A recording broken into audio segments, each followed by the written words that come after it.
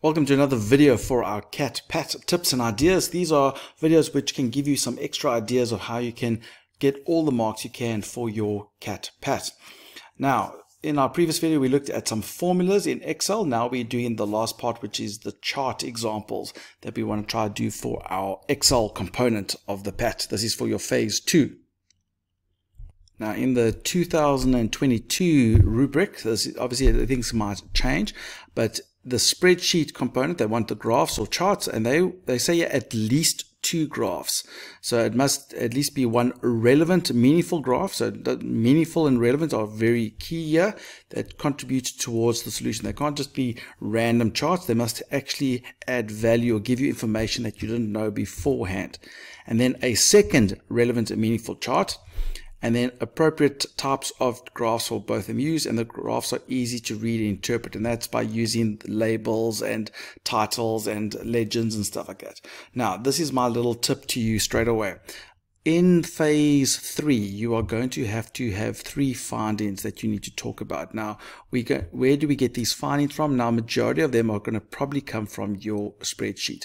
We probably can get something from our uh, access uh, database when we in the next part of this phase two.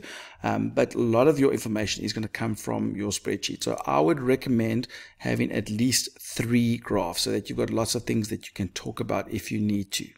Okay and remember in our one video we showed you how to get external data. You can also do charts on that external data as well. So all of these charts are obviously very dependent on how well you did your formulas beforehand because that will determine if the information is relevant or meaningful. I can't tell you that. You are the only one that can determine that based on the data that you've got and the questions that you asked in your survey. So here we've got our spreadsheet from our previous uh, videos and yeah, I've got a whole bunch of formulas that I use where you can find the min, the max, the average. I can talk about that in your findings. That's more talk about stuff. Um, you can do a chart to find out what percentage people said yes and no of your data. So that could be something. It obviously depends on if question one is a good is a question that you want to ask. So you could select that data and that would be a good example of using, for example, a pie chart so that you can see what percentage everyone says. So we can go and insert a nice little pie chart. So there's our pie chart over there. It's up to you how you want it to look. So you can select it. So there you can see straight away, and then you can go change the title to be what this question is about and say question one and whatever question one was about.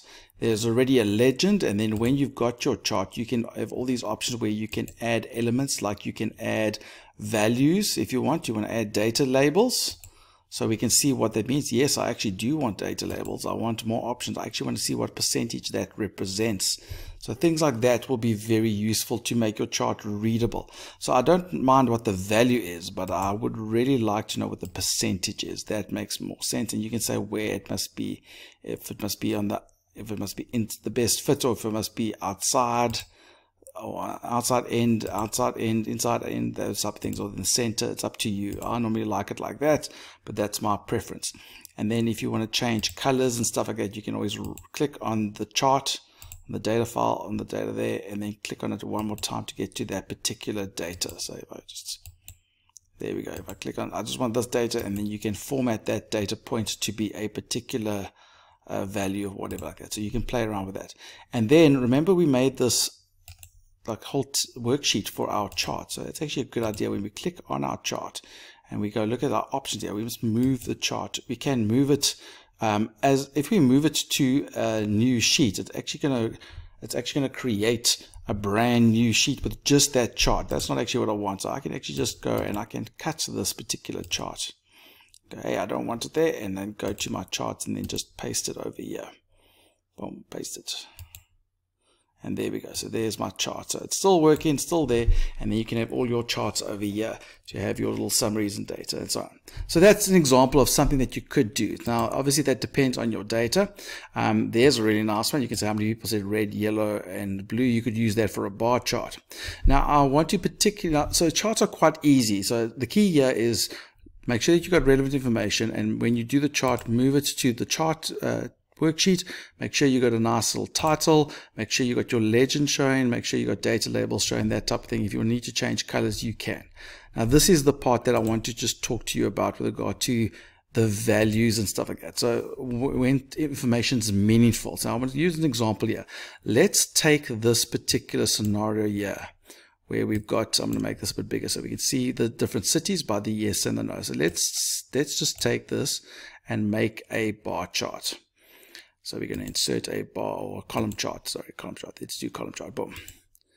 So we can do column chart. So we can see each city individually and how many people said yes and how many people said no and that type of thing. And you can obviously switch the row and round. So you can look. So this is all the yeses for um, the different cities and that's all the no. So you can do that type of thing. So, so if we look at this particular chart, okay, do you see that we can see that the number of people that said no in Cape Town is quite close to the number of people that said yes um, in Gqeberha and so on. So you get an idea of what the values mean. So you can see this is significantly higher and it goes there.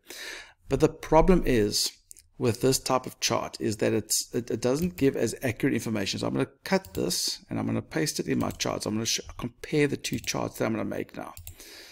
Okay, so when we're dealing, so that's number of, that's, so Gqeberha, five people said yes.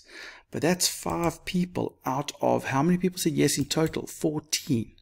So do you see, that's a very different, that's less than half. Where in East London, for example, let's say four people, yeah, said no in Cape Town. Now that's slightly less than they said yes, but that's four out of six. So that's more than half, that's, that's almost 60% of the people said no in Cape Town. Do you see how that those values give us a lot different information based on what the that value is in comparison to how many people said yes. So sometimes it's a good idea not to just use the straight up values, but we've got the yes and no, but to work out the percentages of that. So that equals to a 5 divided by how many there are in total for the yeses, and there are 14 of them. And I'm going to put dollar signs around that because I'm going to copy this formula down and I want to work out for each of them, but obviously I want to always refer to that particular block. So that's actually the percentage. Not 35% of of the yeses were in Gqeberha and so on. So that gives us a very different picture. So there we go. I've left it like that. You can make them into percentages if you want, that type of thing. And then over here, obviously that we would move this up and get it out the way. And you would make it obviously look nice as well as part of your information. So for the no's, that would be equal to the, the number of no's that we counted divided by how many no's there are in total, which is that block and I'm going to put a dollar sign around that one because when I copy it down I want to refer to all of these but keep that one locked. So there we go. So I can work out the percentages over here. So let's work out percentages and there we go. So now we've got a little bit of values there and then you can say obviously this is yes percent and this is no percent. Okay so let's try to do these as a chart. So that's obviously that data and that data and that data. Okay, or actually let's yeah, do that and do that and just see what it looks like when we go insert this chart. Let's go have a look at the exact same bar chart and let's go have a look. Boom. Okay, so we want the data a little bit differently to that. So I don't like that chart. I'm going to actually undo that. No, I don't want to do that. Let's, let's just do this data straight up and we can add that as the series later on. So let's go insert bar chart. Boom. So there's my chart. Obviously, I will give it a title on that, but obviously I don't like this one, two, three. I just use that data. I want to So I'm going to right click on the chart and select the data and I'm going to edit these numbers. I'm going to say edit it. I want it to be that range, please. Boom, boom, boom. And there we go. It's actually done the little ones at the bottom. There we go. Fantastic. Okay. And so let's go and compare this chart. Let's cut it and paste it in the charts here and we're going to paste it over here boom. Okay so there we go. So now it's exactly the same chart. Now it gives us a lot different information. Are you seeing the values are slightly different.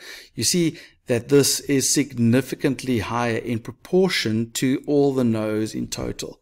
By working out the percentages of what how many no's are in relation to all the no's you get a much better perspective of what that how high that actually is how significant that is and how uh, that is not as big as you thought it was in comparison to to the number of no's. So those are the types of things that you can be just be aware of when you are doing your charts. That sometimes the values are, especially in the count if section, isn't as useful as if the percentages of that value divided by how many there are in total.